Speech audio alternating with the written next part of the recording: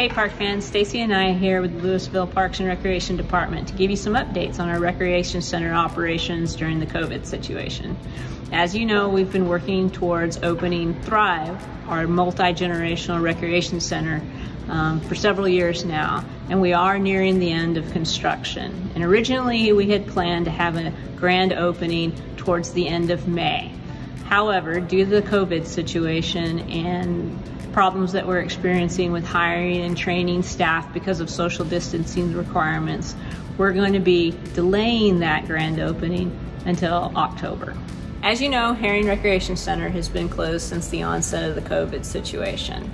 And until we learn more about what the financial implications of the current situation will be for the city of Lewisville, we're going to keep Herring Recreation Center closed to redirect resources to help with Thrive but also move uh, programs and activities out into the main park system.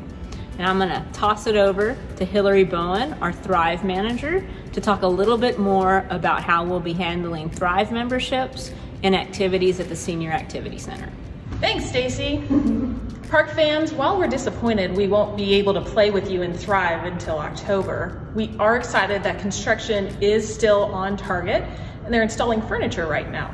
Another exciting thing is we are going to continue our lease at Music City Mall. So that will continue to allow us to offer senior activity programs until Thrive opens.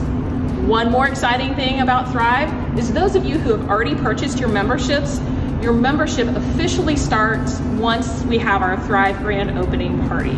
So we are excited to have you join us, but I'm gonna let Erica, our recreation manager, give you a few more updates about what's to come.